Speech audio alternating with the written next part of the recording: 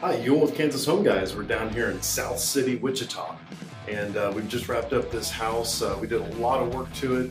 Um, it was uh, just needed a lot of updating, and uh, so we went through. One of the big projects we did was uh, work on the kitchen, put all the kitchen cabinets in.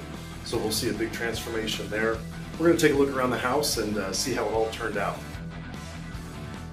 If I remember right, this house was pretty dark when we first walked in here. Got this updated with some nice light walls and carpet. We've got two upstairs bedrooms. These windows let in a lot of light.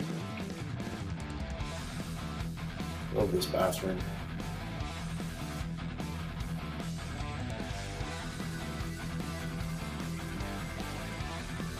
We'll go back through the living room and go into the kitchen. All new cabinets, uppers and lowers. Beautiful backsplash.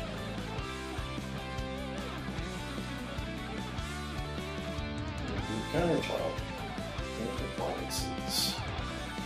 New countertop and appliances. Downstairs.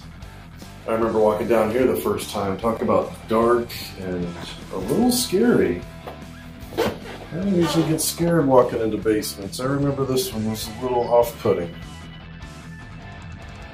I got one more room tucked away back here. It's not really a bedroom since there's no egress. A good little office area, playroom.